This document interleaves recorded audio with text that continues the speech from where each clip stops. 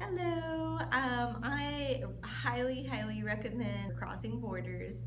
Um, I, my daughter's been enrolled here for almost a year now, and in the beginning, she had a really difficult time adjusting from being a stay-at-home baby to coming to school, as most kids do.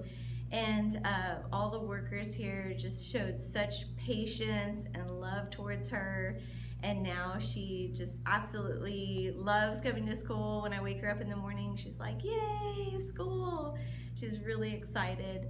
Um, I love how they always have, you know, um, hands-on activities and crafts for the children to do.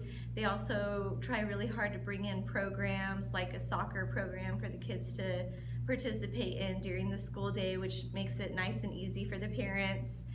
Um, let's see. Oh, okay. Also, um, I travel really far to make it to this location, and a lot of my family and friends kind of look at me like, "Gosh, you're crazy for traveling so far and sitting in all that traffic to take her to, you know, um, a preschool that you could just have her in really close to home." And um, I always look at them like, no, it's worth it. It's worth it to have her involved in a school where the teachers and you know, all the workers are so dedicated towards her and have such patience and love towards her. And um, also the benefit of just learning another language is, is just worth it.